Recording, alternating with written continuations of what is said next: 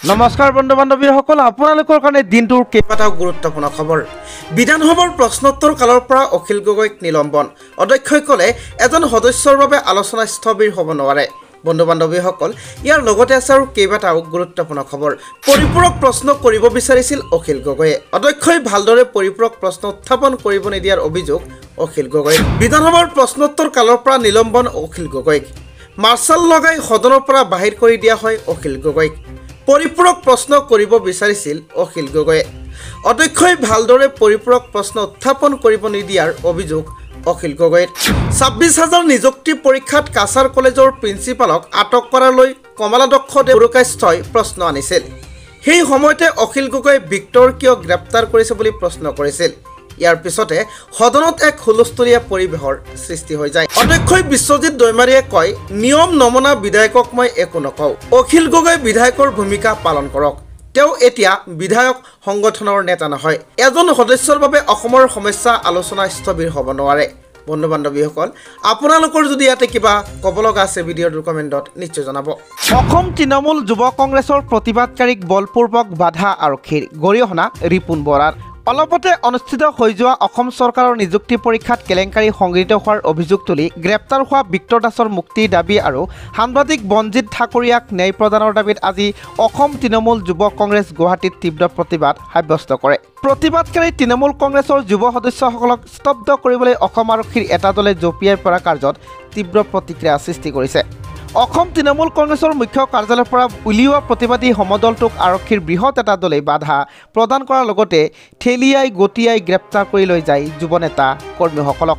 প্ৰতিবাদকাৰীসকলে তৃতীয় আৰু চতুৰ্থ বৰ্গৰ নিযুক্তিক একাংশ অসাধু চক্ৰই ধনৰ বিনিময়ত চাকৰিৰ জাল পতাৰ অভিযোগ উত্থাপনৰ পাছতে গ্ৰেপ্তাৰ কৰা বিক্টৰ দাস মুক্তিৰ দাবী আৰু সাংবাদিক বনজিৎ ঠাকুৰীয়াই ন্যায় প্ৰদানৰ দাবীৰে শ্লোগান দি পৰিৱেশ উত্তাল কৰি তোলে। দলৰ যুৱ সতীৰ্থসকলক ঠেলিয়াই গটিয়াই গ্ৰেপ্তাৰ কৰা কাৰ্যক গৰিহণা দি বিজেপি চৰকাৰৰ স্বৈৰাচাৰী নীতিৰ সমালোচনাত সৰব হৈ পৰে অসম তৃণমূল কংগ্ৰেছৰ সভাপতি ৰিপন বৰা। চৰকাৰখনে গণতান্ত্ৰিক প্ৰতিবাদৰ ভাষা শুনিব নিবিচাৰে বুলি মন্তব্য কৰি সভাপতি বৰাই কয় বৰাই কয় চাকৰি নিযুক্তিক অনিময় কৰি বিচৰা অসৎ চক্ৰ তথ্য দি চৰকাৰখনক সহযোগ কৰিব বিচৰা যুৱক এজনক গ্ৰেপ্তাৰ কৰি চৰকাৰে নিজৰ স্বৰূপ উদঙাই দিছে। আনহাতে সাংবাদিক বনজিৎ ঠাকুৰীয়াৰ ওপৰত চলোৱা আৰক্ষীৰ হাৰাশাস্তিৰ ক্ষেত্ৰত ন্যায় প্ৰদানৰ দাবী জনায়। উল্লেখযোগ্য যে প্ৰতিবাদৰ পূৰ্বে অসম তৃণমূল যুৱ কংগ্ৰেছৰ প্ৰথমখন ৰাজ্যিক কাৰ্যনিৰ্বাহক অনুষ্ঠিত হয়। সভাত অসম তৃণমূল যুৱ কংগ্ৰেছৰ জিলা সভাপতি সভাপতিসকলো উপস্থিত থাকে। সাংগঠনিক ভেটি মজবুত কৰাৰ সন্দৰ্ভত বিভিন্ন দিশ সম্পৰ্কে আলোচনা কৰা হয়। এই সভাত অসম তৃণমূল যুৱ কংগ্ৰেছৰ সভাপতি বন্দীপ দত্তৰ উপৰি অসম তৃণমূল কংগ্ৰেছৰ মিডিয়া বিভাগৰ অধ্যক্ষ দিলীপ কুমাৰ শৰ্মাকে ধৰি ভালেসংখ্যক নেতাকৰ্মী উপস্থিত থাকি নিজৰ নিজৰ মতামত দাঙি ধৰে। আজি অসম তৃণমূল যুৱ কংগ্ৰেছৰ সভাপতি এক সমদল সম্বোধন কৰি ৰাজ্যিক কাৰ্যনিৰ্বাহকত গ্ৰহণ কৰা বিভিন্ন সিদ্ধান্তৰ বিষয়ে সদৰি কৰে। দত্তই লগতে অসৎ চক্ৰক উদঙাই দিয়া বিক্টৰ দাসক শীঘ্ৰে মুক্তি দাবী জনায়। আপোনাৰ যদি চাৰিচকীয়া বাহন আছে তেনেহ'লে এইটো খবৰ আপোনাৰ কাৰণে বহুতে গুৰুত্বপূৰ্ণ। এতিয়াৰ পৰা গাড়ীত ব্যৱহাৰ কৰিব নোৱাৰিব এইবিধ সামগ্ৰী অন্যথা ভৰিব লাগিব জৰিমনা। বন্ধু বান্ধৱীসকল অসম আৰক্ষীয়ে সুৰক্ষা সম্বন্ধিতে জাৰি কৰিছে এক নতুন নিয়ম। গাড়ীৰ ভিতৰত লগাব নোৱাৰিব কোনো ধৰণৰ কলা নেট ষ্টিকাৰ আদি। অসম আৰক্ষীয়ে নিজৰ সামাজিক মাধ্যমৰ একাউণ্টযোগে এই পোষ্ট কৰি বিশেষ সবিশেষ জনায়। উক্ত পোষ্টত উল্লেখ কৰে যে কিছুমান লোকে বাহনৰ খিৰিকীত ব্লেক টিণ্টিঙৰ সলনি ব্লেক ব্লেক নেটৰ ব্যৱহাৰ কৰে। ব্লেক গ্লাছ অথবা ব্লেক নেটৰ ব্যৱহাৰ কৰিলে গাড়ীৰ অধিকাৰীয়ে জৰিমনা দিব লাগিব বুলিও আৰক্ষীয়ে সকলোকে সকিয়নি প্ৰদান কৰে। উল্লেখনীয় যে অস্বচ্ছ ব্লেক নেট ছানস্ক্ৰীনৰ পৰিপূৰক নহয়। সেয়েহে ইয়াৰ ব্যৱহাৰ পৰিহাৰ কৰাৰ বাবে ৰাইজক আহ্বান জনায়। আচলতে বন্ধ গাড়ীৰ ভিতৰত বিভিন্ন ধৰণৰ ঘটনা পৰিলক্ষিত হোৱা দেখা গৈছে। এনেধৰণৰ কোনো ঘটনা যাতে পুনৰ সংঘটিত নহয় সেই বিষয়ত দৃষ্টি ৰাখি ব্লেক নেটৰ ব্যৱহাৰ নকৰিবলৈ আৰক্ষীয়ে নিৰ্দেশ দিছে।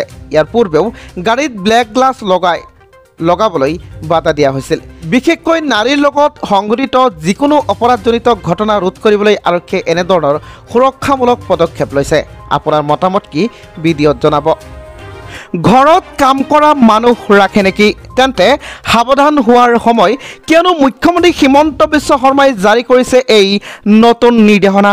বন্ধু বান্ধৱীসকল আপুনি অসমবাসী হিচাপে এইটো খবৰ জনাটো বহুতে প্ৰয়োজন। সঘনাই বাতৰিৰ শিৰোনাম দখল কৰি আহিছে বন কৰা শিশু কিশোৰ কিশোৰী নিৰ্যাতনৰ ঘটনা নাইবা ঘৰত কাম কৰা লোকৰ হাতত মৃত্যু হোৱাৰ মালিকৰ ঘটনা যাৰ বাবে এইবাৰ কঠোৰ হোৱাৰ দিশে অগ্ৰসৰ হৈছে অসম চৰকাৰে।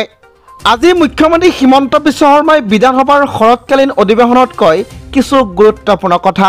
অতি শীঘ্ৰেই ৰাজ্যৰ ঘৰুৱা সহায়ক নিয়োগ কৰা পৰিয়ালবোৰে পৰিয়ালবোৰে আৰক্ষীৰ প্ৰক্ৰিয়া চলাব লাগিব পাৰে। লগতে ৰাজ্য চৰকাৰে ইয়াৰ বাবে কঠোৰ আইন অনাৰ চিন্তা কৰি থকাৰ বাবে বিভিন্ন দায়বদ্ধতামূলক ব্যৱস্থা অনুসৰণ কৰিব পাৰে। সোমবাৰে অসমৰ মুখ্যমন্ত্ৰী হিমন্ত বিশ্ব শৰ্মাই বিধানসভাত জনায় যে বিজেপি চৰকাৰে ঘৰুৱা সহায়ক হিচাপে কাম কৰা লোকসকলক সুৰক্ষা দিবলৈ এখন আইন আনিব যি মানৱ মানৱ সৰবৰাহৰ ঘটনাসমূহক পোনপটীয়াকৈ প্ৰভাৱিত কৰিব।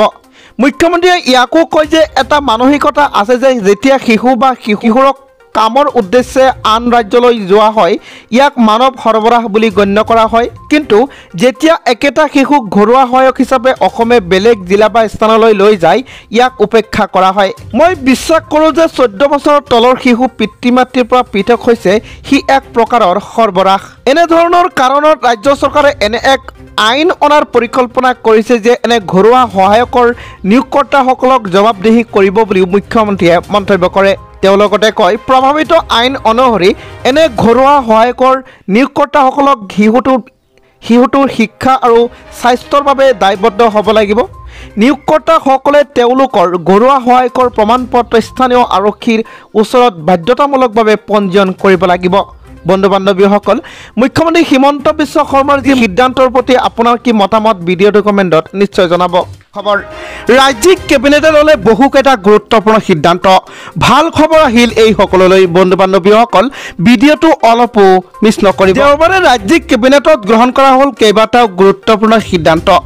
মন্ত্ৰী জয়ন্ত মল্ল বৰুৱাই এখন সংবাদমেলযোগে উল্লেখ কৰি কয় যে কেবিনেটতে সিদ্ধান্ত লৈছে যে ৰাজ্যত দুখন বিশ্ববিদ্যালয় স্থাপন হ'ব। গিৰিজানন্দ চৌধুৰী বিশ্ববিদ্যালয় আৰু প্ৰাগজ্যোতিষপুৰ বিশ্ববিদ্যালয় স্থাপন কেবিনেটৰ অনুমোদন দিছে।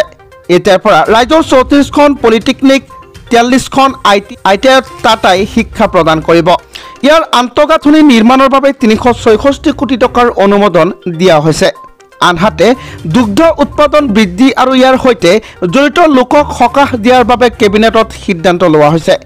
তাৰ বাবে ডিব্ৰুগড় আৰু যোৰহাটত দুগ্ধ প্ৰতিক্ৰিয়াকৰণৰ ইউনিট স্থাপন হ'ব। তেওঁ লগতে কয় যে নলবাৰী চিকিৎসা মহাবিদ্যালয়ৰ বাবে অতিৰিক্ত তিনিশ সাতানব্বৈ কোটি টকা অনুমোদন দিয়া হৈছে। মুঠ ছশ পোন্ধৰ কোটি ব্যয় কৰি নিৰ্মাণ হ'ব মেডিকেল কলেজখন। বন্ধু বান্ধৱীসকল ভিডিঅ'টোৰ কমেণ্টত জনাব আপোনালোকৰ প্ৰতিক্ৰিয়া। নগাঁৱত নৃশংস হত্যা হাত ভৰি বান্ধি মুখত কাপোৰ ভৰাই থোৱা অৱস্থাত ঘৰৰ ভিতৰতে উদ্ধাৰ মহিলাৰ মৃতদেহ। বন্ধু বান্ধৱীসকল নগাঁও জিলাৰ পৰা আজি পুৱাই আহে এক নৃশংস হত্যাকাণ্ডৰ ঘটনা। ঘৰৰ ভিতৰতে এগৰাকী মহিলাক হাত ভৰি বান্ধি মুখত কাপোৰ বান্ধি থৈ যায় কোনো দুৰ্বৃত্তই। আজি মঙলবাৰে পুৱাই পোহৰলৈ আহে এই হত্যাকাণ্ডৰ খবৰ। জানিব পৰা মতে এই চাঞ্চল্যকৰ ঘটনাটো নগাঁও জিলাৰ শৈবৰ গাঁৱৰ গোটলাইপট্টিত সংঘটিত হৈছে। কোনো দুৰ্বৃত্তই হাত ভৰি বান্ধি এগৰাকী মহিলাক ঘৰৰ ভিতৰতে অতি নৃশংসভাৱে হত্যা কৰে। স্থানীয় ৰাইজে ডকাইতৰ দলে মহিলাগৰাকীক হত্যা কৰাৰ সন্দেহ কৰিছে। বাৱন্ন বৰ্ষীয় মৃত মহিলাগৰাকীৰ নাম আইছা ছিদ্দিক ঘটনা সন্দৰ্ভত চুবুৰীয়াই গম পোৱাৰ মাত্ৰকে আৰক্ষীক অৱগত কৰে। ঘৰটোত মহিলাগৰাকীয়ে অকলে বসবাস কৰি আহিছিল। ঘৰৰ কাপোৰ আলমাৰীৰ ভিতৰৰ অলংকাৰ বাকচ সকলোৱে খেলি মেলি হৈ থকাৰ বাবে ডকাইতৰ দলে মহিলাগৰাকীক হত্যা কৰি ধন সোণ লুটি নিয়াৰ সন্দেহ কৰিছে আত্মীয়ৰ আত্মীয়ৰ লগতে চুবুৰীয়াই। ঘটনাস্থলীত নগাঁও আৰক্ষী উপস্থিত হৈ মৃতদেহটো উদ্ধাৰ কৰে ইতিমধ্যে। মহিলাগৰাকীৰ মৃতদেহটো মৰণোত্তৰ পৰীক্ষাৰ বাবে প্ৰেৰণ কৰা হৈছে। দুই কন্যাক বিয়া দিয়াৰ পিছত অকলে বসবাস কৰা মহিলাগৰাকীৰ মৃতদেহৰ পৰাও ঘাতকে হাতত পিন্ধি থকা খাৰু নাকৰ পৰা নাক ফুলিও নিয়া বুলি জানিব পৰা গৈছে।